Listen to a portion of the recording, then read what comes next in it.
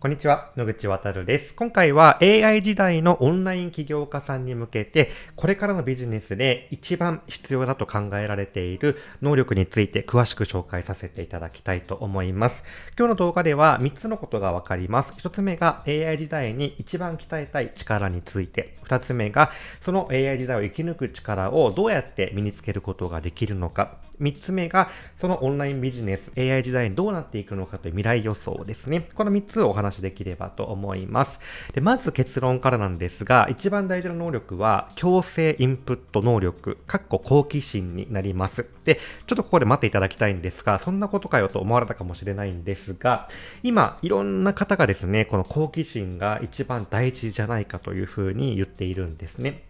で、なぜかというと、まず強制的なインプット、この強制っていうところが非常に重要なんですけれども、強制的に体験するインプットっていうのが行われると、まあ、最初は嫌なことでも、ま、次第に好きになっていって、で、その奥深さをもっと知っていって、で、もっと好きになっていって、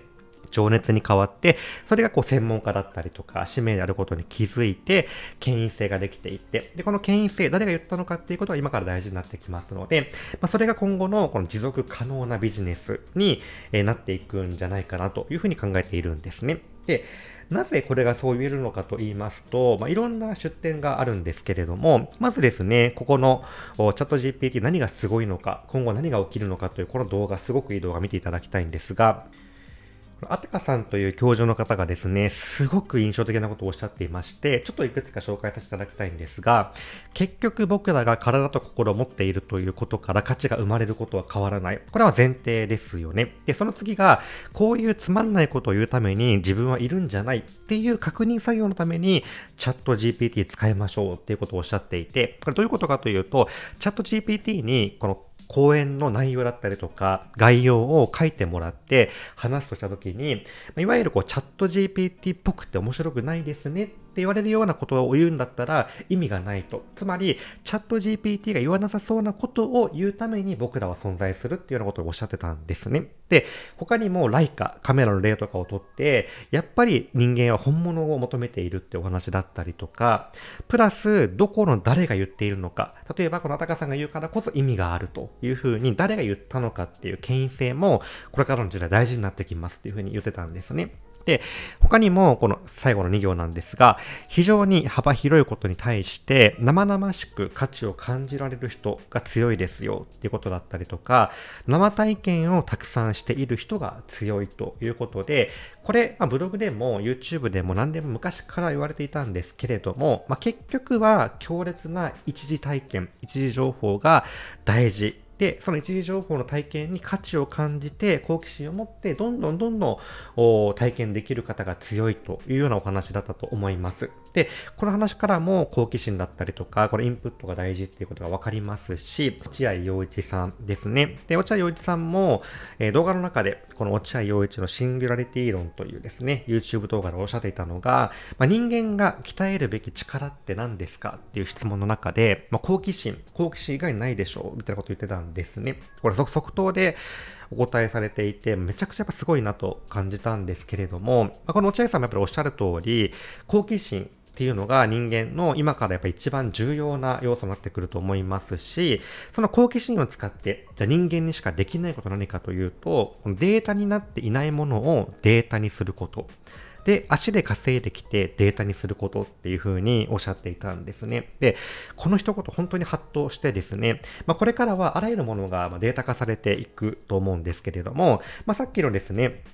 お話と近いところではあるんですが、こう生体験をたくさんしていくと、まあ、自分だけの一時情報だったりとか、このデータっていうものがですね、蓄積されていくと思うんですよね。で、この生体験、いろんなことに価値を感じて行動していく、好奇心を持っていくことによって、自分だけのデータをまデータ化していく。で、それをネットの世界にこう残していくみたいなイメージだと思います。で、そこで討論していた佐々木さんもおっしゃっていたんですが、まあ、それって無限に拡張できますよねっていうことをおっしゃっていて、で、つまり生きている間は自分の知的資産、言語資産を残す時間っていうふうにおっしゃっていてですね、これまさにそうだと思うんですよね。好奇心を持って生体験をしてい、て、で、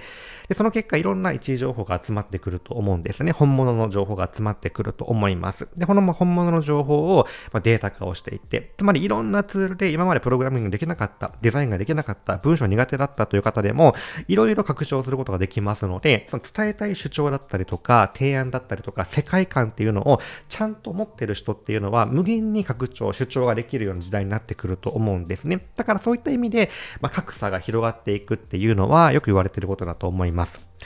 はい。で、ここからはですね、例えば、ビジネスに好奇心がどういうふうに使われたかというですね、まあ、自分自身の体験のお話しさせていただきたいんですけれども、そもそもこの強制インプットがなんで大事かというお話なんですけれども、そもそもやっぱり強制的にインプットしないと好奇心って芽生えないと思うんですよね。つまり、最初から好奇心がある人もいますが、好奇心があるから行動するんじゃなくて、何かの行動が起こった時に、最初はあんま好きじゃなかったけれども、興味が出てきて、好きになって好奇心が出てくるっていう風な感じで、インプットが先、好奇心は後の順番だと思うんですね。でも、インプットしようとしても、好奇心がないので、わざわざやろうと思わないので、最初は強制インプットということで、誰かに連れて行ってもらうとか、仕事で仕方なくとかですね、何かしらの強制的な環境でインプットができる状態っていうのが好奇心の源泉だと思います。で、これを自分の体験に置き換えると、ま、いろいろ私もブログだったりとかビジネスやっているんですけれども、例えば一番最初にですね、えー、15歳ぐらいの時に、まあ、友人に誘っていただいて、こランシドっていうですね、アメリカのバンドがいるんですけれども、まあ、このパンクバンドのライブに行ったんですよね。で、こういうライブも、まあ、パッと見怖そうじゃないですか、この彼だって。すごいいかついですし、いや、こんな怖いバンドのライブなんてっていう風に思ったんですけれども、初めて行ってみて音楽の力っていうのを知って、そこからギターだったりとかドラムを始めて、音楽のメディアだったりとか、音楽つながりのお仕事だったりとか、今の自分の人生にも欠かせない活動になってるんですよね。これも最初に友達から誘われたという強制インプットがあってから初めてなったことですし、他にも今私がやっているこの教育ですね。ユーレミーとかコンサルティングとかオンラインスクールなんですけれども、これはもともと教育なんて全く興味がなかったんですけれども、まあ、とある国、まあ、デンマークに行く機会があってですね、デンマークでいろいろとフィールドワークをしてるときに、まあ、たまたま強制インプットでそういう場所を見つけて、これすごくレベルが高い教育、幸福度が高い教育っていうのを触れて、で、そこから興味が出てきて、情熱が出てきて、今の講師活動になっていったという経緯もありますし、他にも、いろんな国に行って食事を探してるんですね。例えば、本当に美味しい果物、人間の調子を本当に良くしてくれる果物とか、いろんなものを探しに行ってるんですけれども、これもたまたま海外に行く日本という構造から抜けるという強制インプット体験があって、そこで食べ物に衝撃を受けて、興味を持って追求をすることによって、今のビジネスにつながるパフォーマンスを上げるための食事っていう風な、活動につながっていってるんですよね。で、こういう風に最初は全く興味がないところから始まっています。。で、これ他にもコーヒーとかもそうです。最初はコーヒーなんて全然好きじゃなかったんですけれども、まあ、とある友人に、スペシャル、スペえー、とある友人に、スペシャリティコーヒーを飲ませていただいて、で、その体験があって初めて好きになって、で、世界中のコーヒーを探すようになっていったんですね。他にも登山の活動もそうです。今、アウトドアのブログとかでもビジネスやっていたんですけれども、まあ、こういったアウトドアもですね、登山なんてきつくてやりたくないよと思っていたんですが、誘っていただいて、たまたま山に登って、そしたらもうあまりの絶景でハマってっていうところから活動がスタートしていきましたし、まあ、これら本当一例に過ぎないんですけれども、まあ、こういうものがですね、まあ、何十個もやっぱりあるんですよね。で、例えばサウナとかもそうです。あんなに暑くて辛いものなんて入りたくないと思っていたけれども、先輩に誘われて、いや、先輩サウナちょっとしんどいから温泉にしましょうよなんて言った言ってたんですけれども、いや、いいからお前サウナ一回入ってみろと、絶対に気持ちいいからということで入ってみたときに、すごい整っていいなと思って、その結果、ベルギーとかチェコまでわざわざ飛行機に十何時間乗ってサウナに入りに行くぐらいハマったりとかですね、っていう風な活動に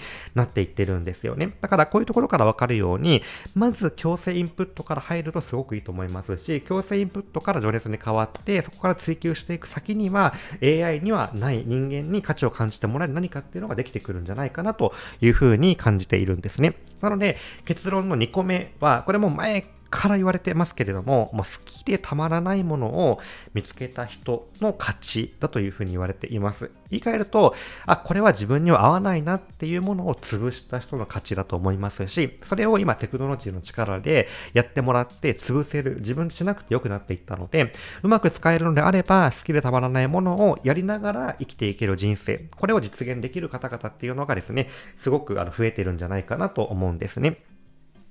なので、まあ、このね、あのー、まあ、これもですね、とある対談でおっしゃって、専門家の方がおっしゃってたんですけれども、今はもう専門以外の分野で AI に勝ち目はないということをおっしゃってたんですよね。まあ、もちろん専門分野でも細かい記憶とか、それと計算とかは勝てないと思うんですけれども、まあ、いわゆるこの専門分野のスキルっていうよりかは自分がどういうふうにやっていきたいのかとか、その意思の話とかですね、どういう世界観にしたいのかとか、どういうふうな願望を叶えたいのかとか、そういうところにその人の価値観だったりとか違いっていうのが現れてくると思いますので、まあ、そういうふうに好きでたまらないものを見つけた人は勝つと思いますし、